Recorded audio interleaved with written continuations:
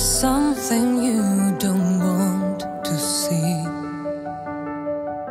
Like noise of flying memories in front of me.